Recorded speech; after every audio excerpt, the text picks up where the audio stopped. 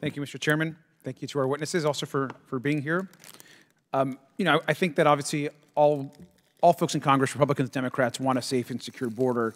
I think what we have are different approaches to how we treat immigrants, a humane system, and ensuring that we don't go back to a process that was inhumane to people that are oftentimes struggling and just seeking a better life. We don't want to go back to family separation, to Muslim bans, to undermining our asylum system, and we know we can achieve a comprehensive goal that both has a secure border, but also a plan for immigrants that are here in this country and that are working hard to contribute to our economy and to our country. Now, legal pathways to ensure an orderly and humane process are important. Now, I strongly support legal immigration because we are a nation of immigrants. Immigrants are some of the most patriotic people I know in our country. They make our community stronger, they work hard, they build our country. I'm an immigrant. I came to this country as a young child. I love America. I think it's the best country on earth. When I raised my right hand, it was the proudest day of my life, and I'm giving back to this country. I try to every single day. And the same is true for everyone in my family who are also immigrants. But I also want to be clear why I think we're here today. It's because some folks in Congress, and certainly Donald Trump, think that bashing immigrants will win this election. Now, two weeks ago, during a, was a bizarre debate performance, we saw, of course, the former president repeat manufactured conspiracies about immigrants, and in this case, Haitian immigrants in Ohio.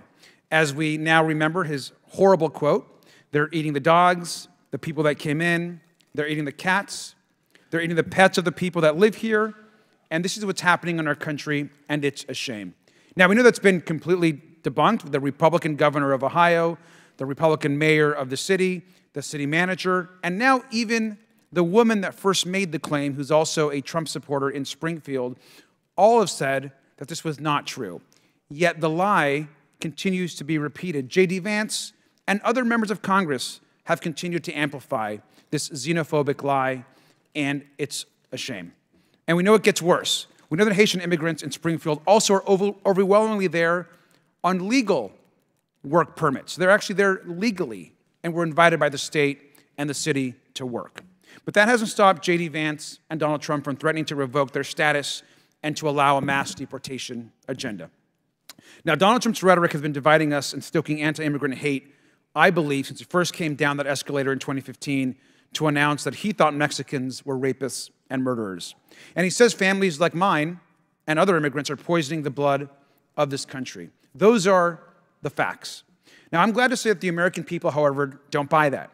A CBS poll found that only one third of voters approve of Trump's claims about immigrants, and almost 65% believe his recent claims are false, which we know that they are. But here are some more facts Donald Trump is not interested in border security. He killed the bipartisan border deal that was in front of the Congress. And the Biden Harris administration has taken robust action to secure the border, and we're now seeing the results of that. And there's no immigrant crime wave. And I respectfully disagree with the chairman.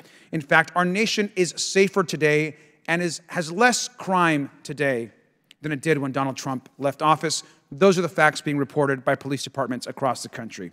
And finally, I'll reiterate I believe immigrants are inherently part of this country. They're the backbone of our country. They make our country safer, stronger, and better. With that, I yield back.